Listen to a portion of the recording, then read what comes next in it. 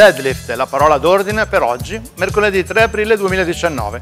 Costruiremo un set pesante di 5 ripetizioni, poi 12 minuti unwrap, 6 street handstand push-up, 9 deadlift, e 30 double unders. Sulla grafica qui di fianco pesi e scalatura. Per oggi è tutto, domani è un altro giorno e ci ritroveremo di nuovo per un altro WOD insieme su Cheaper TV. Buona giornata!